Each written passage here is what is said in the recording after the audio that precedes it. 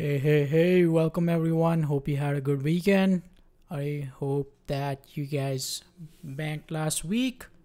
And uh, I personally wasn't able to get into the puts at the right time, and I missed the downside, but no problem.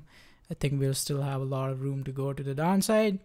And uh, real quick, before I dive into today's market state and also a couple setups I'm watching for the upcoming week, I want to make you guys aware that we have upcoming week we have a lot of economic data. We have FOMC which we have triple witching wicks expiration.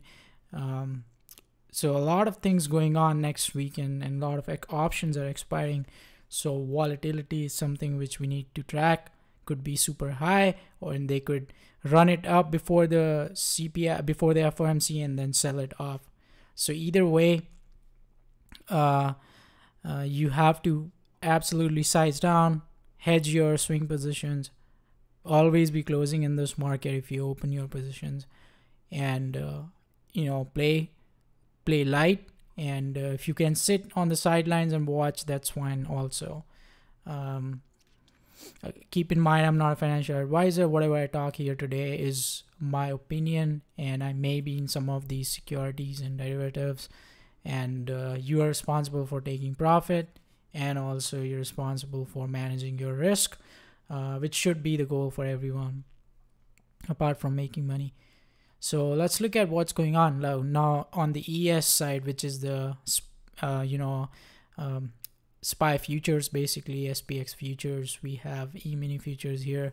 And uh, as you can see after we broke below that support area right here this consolidation zone a massive breakdown here um, and looks like it gapped down again and it's down 58 points. And um, that's not a good sign. We have uh, almost in three trading sessions um, sorry in almost three trading sessions uh, we have almost covered 1000 points down on SPX uh, and ES which is a massive move in short amount of time and uh, what does that mean? That means we could be near something like a capitulation event that's possible or we follow this trend line here. So what I mean by capitulation is that we break below the support around 380 and then we we have a massive down day and then uh, you know we start to bottom uh, we start to find find bottom you know on SPY but another possibility which is likely is uh, it trend uh, you see this kind of like the support wedge here forming and every time prices kind of like found here support and bounce from this region. So i'm kind of expecting it to kind of fall in this lap around uh, 3700 to 38 3800 find some kind of support here and then have a temporary bounce from here. But if you break below 3700 you know things can get nasty real fast and uh, you know i'm expecting tomorrow market to um, you know be a little bit choppy. Next week again i'm expecting i mean you see here how the how most of the moves here have happened in in like either the power hour and pre-market. So it's not giving us the opportunity to you know trade them intraday. If you were swinging puts working out great. But then again risk for swinging is that these can go to zero instantly uh, if, we are trading zero DTs or one week out just because the market is volatile, right? Now, leading into tomorrow and next week, couple setups I'm watching is first one Shopify. Now, Shopify most probably will you know gap down tomorrow if the market continues like that. But so far, the trend on the Shopify has been down. Right, we have this bearish uh, flag broke down. Then again, it broke down. Now it's forming another bear flag. So if it breaks down below 300, you know, uh, 300 support breaks. Next, there's not much, you know, 278 is the next support. And below that, we don't really have a lot of volume here in this trading sessions. So we can go all the way to 250 and sub that, you know, given how Shopify moves. Uh, but keep in mind, we have split coming soon on Shopify on 29th of June.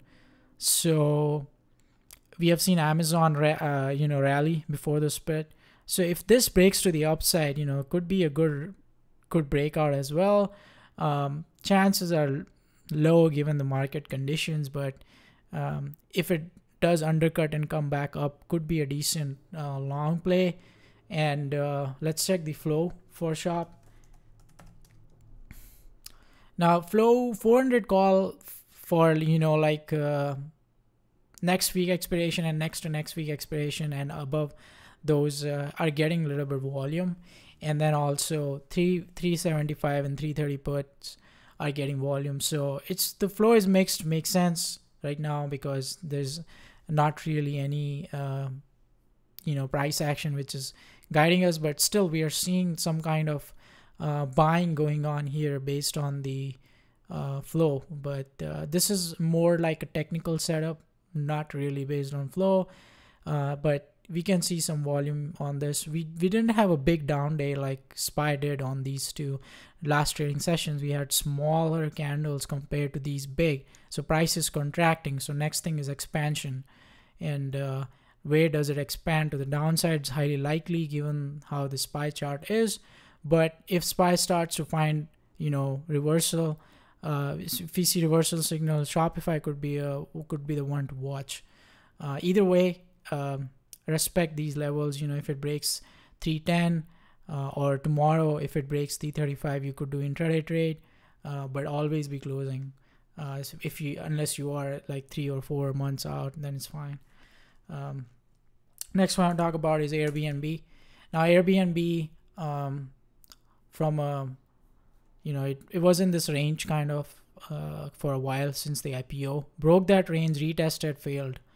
So on the daily weekly chart squeeze fire to the downside of course. And then now we have uh, it almost close to the low right? 103 is the low. So if it can break below 103 we are talking about $100 and sub 100 so it's a decent short setup in this market given that it's already at all-time low. And i'm not expecting a lot of people to book airbnb given the fact that we are heading into recession.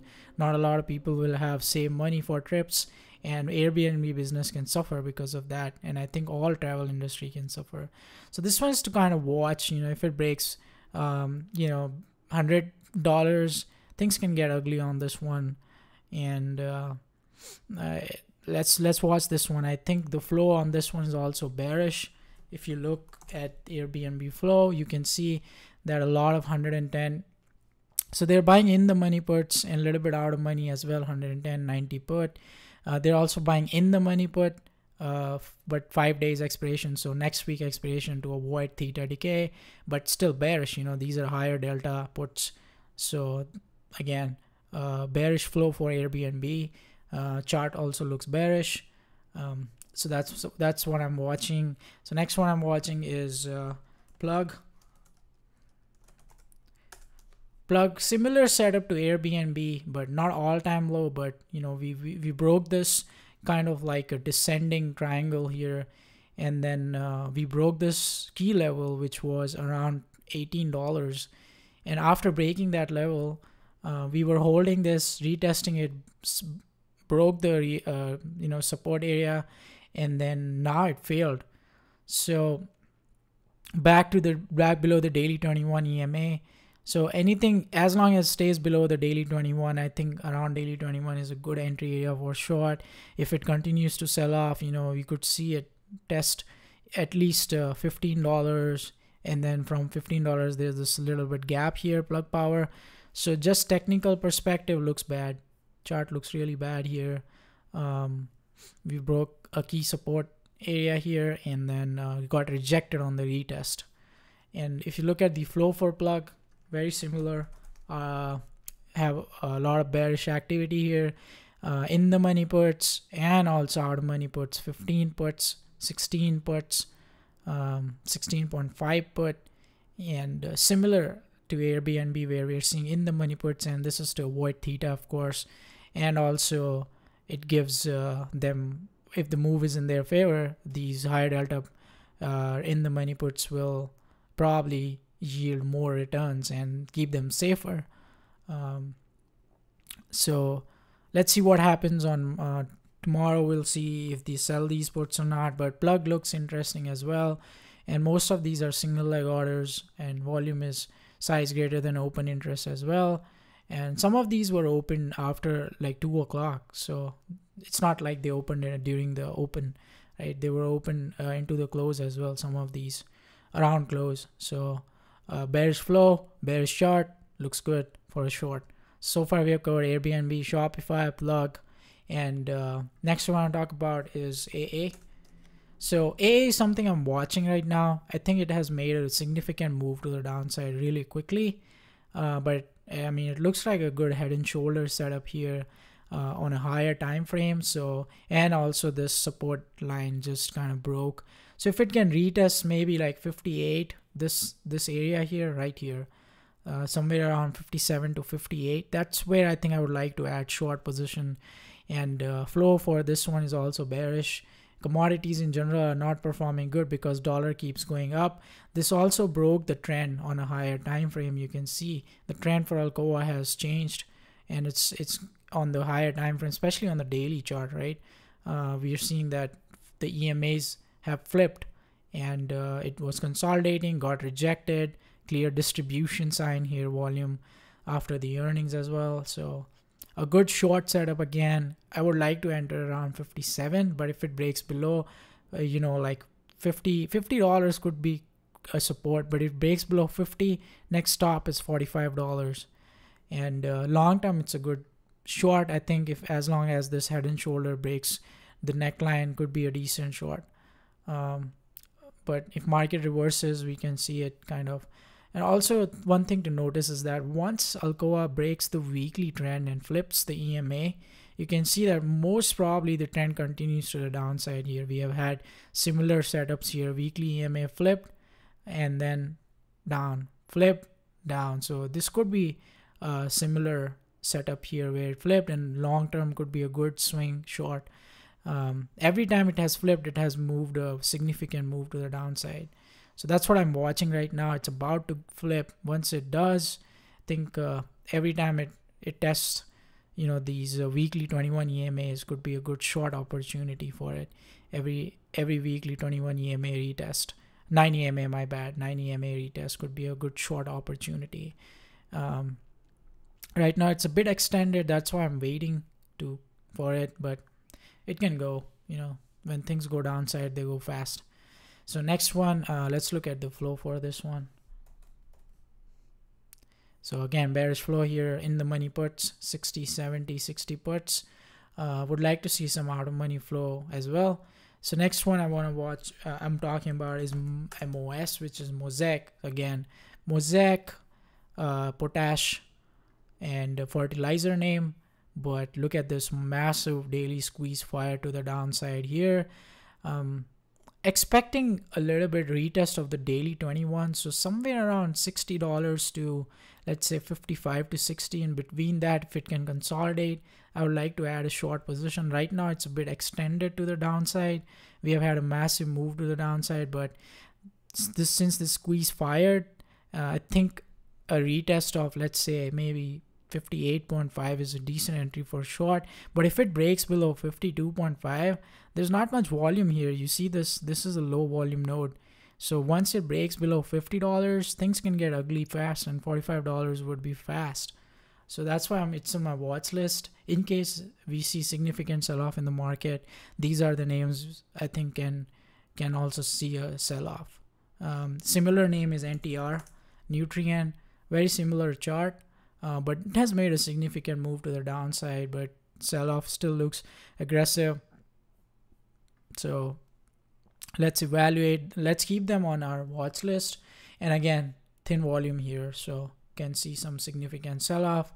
Um, if you are planning to enter short position buy some time on these and uh, you can dollar cost average these longer term puts or if you're buying trying to buy uh, intraday just trade them intraday. But if you're swinging weeklies or three four weeks out you need to get a decent entry which would be around $90 um, and if you look at the flow for ntr nutrien lot of sell off here right?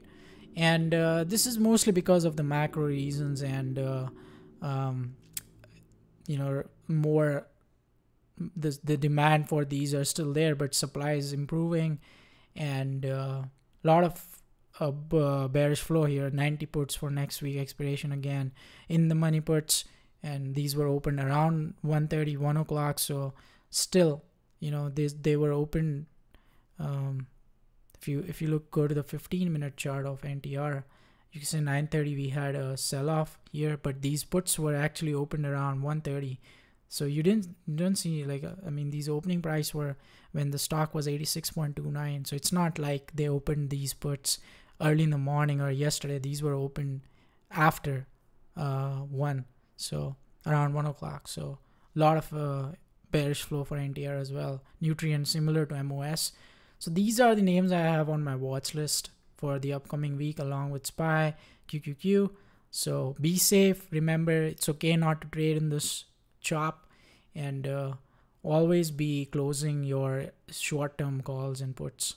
So hope you guys enjoyed this video. If you like it make sure to give a thumbs up and uh, drop some comments that if you if you if you like these setups what do you think about it? It's okay if you disagree with these.